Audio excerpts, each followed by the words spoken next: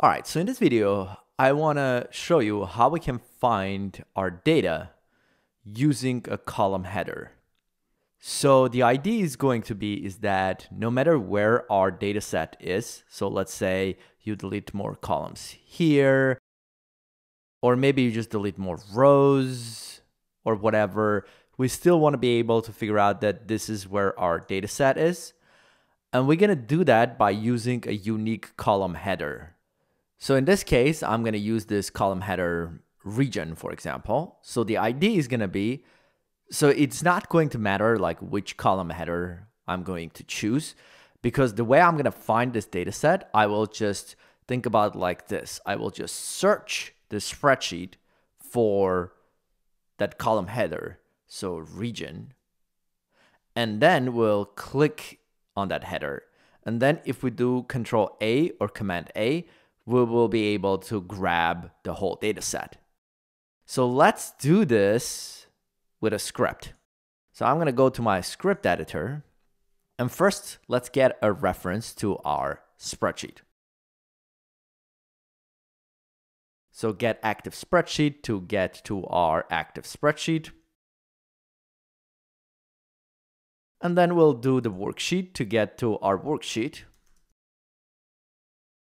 And in this case, I'll just do get sheet by name to get a reference to that particular worksheet. And the worksheet is called, in this case, sheet one. So I'll just copy that name and use it over here. That's good enough.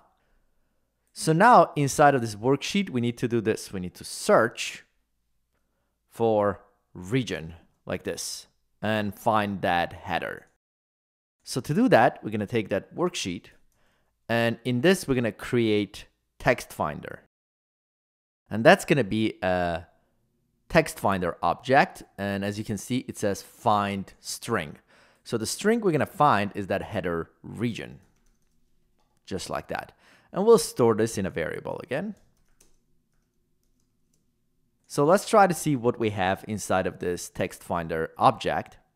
So see, we have find all, find next, find previous, and then the match case, match entire cell. We have all these different things inside of this. I'm to start by, first of all, uh, making sure that we basically match the entire cell content. And for that, we're to just pass true in here. Now, what this means is that basically, if we right now search for reg, that will match that region too, right? But I don't want it to match. So basically, I want to make sure that the entire cell should just say the word region, not just contain the word to be able to find it. And that's what I'm doing here by setting that to true. And there is also like if we want this to be case sensitive or not. I think by default it's false, but I'm gonna do false anyways. You can make it case sensitive by setting this to true. So once we set all the options, then we can search. So there are a couple of ways we can do this. We can either do find all and do find next. So find all means you basically uh, search for all the possible matches. So if you had like region in many different places in this worksheet, you might want to find all of those cells. In this case, we're going with this assumption that we're going to have just one unique column name that we can trust, that it's not going to repeat across the worksheet anywhere else. So for that reason, I'm just going to do find next to find that match. So I'm going to go ahead here and do find next. And see, it says it's going to return spreadsheet range. So let's just save this in a variable again.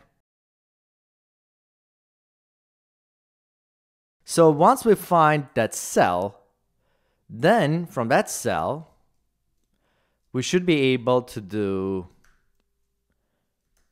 get uh, what I think is current region, but let's see. Maybe not. Let's just Take a look here.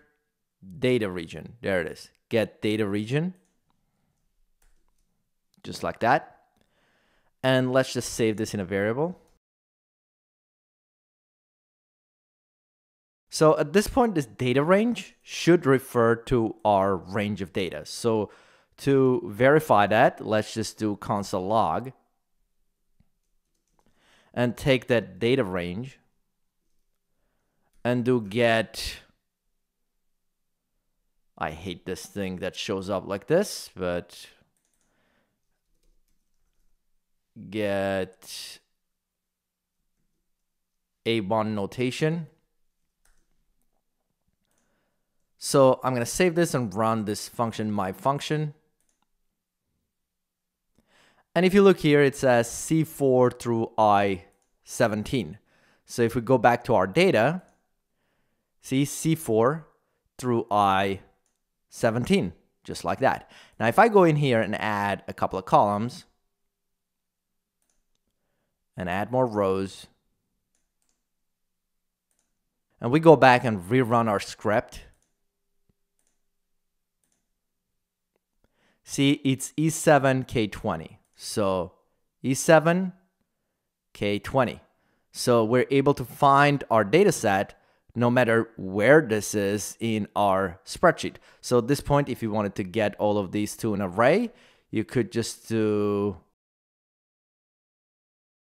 data range dot get values like you would do with any other range.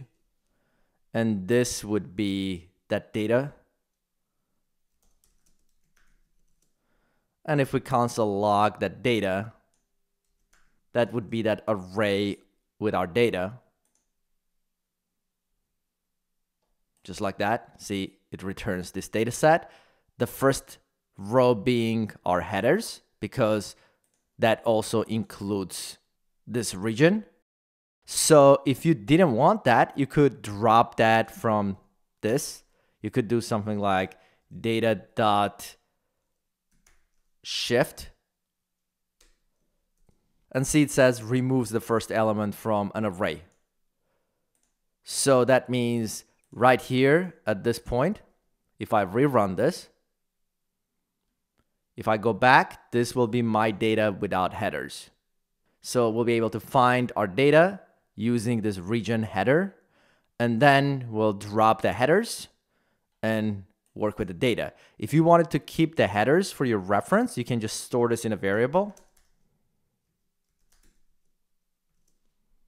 When you do the shift, and that means now you can access your headers from your data in here and your data in here in these variables.